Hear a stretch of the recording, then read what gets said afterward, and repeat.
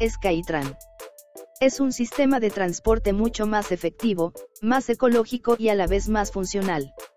Se trata de unas pequeñas cápsulas que pueden transportar hasta tres personas y alcanzan los 240 km por hora. Movidas por levitación magnética.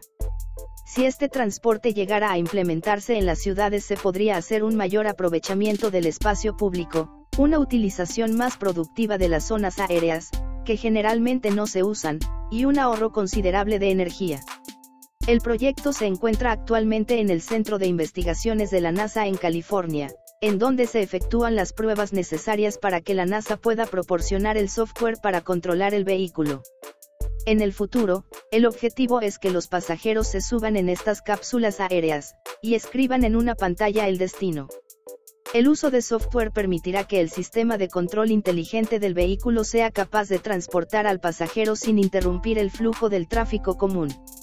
Eventualmente se espera que lleguen a mover a 14.000 personas por hora, tanto a nivel local como regional y que sirvan también como alimentadores de otros servicios de transporte urbano ya instalados. No te olvides de suscribirte a mi canal, para que recibas videos de lo sensacional que es el futuro.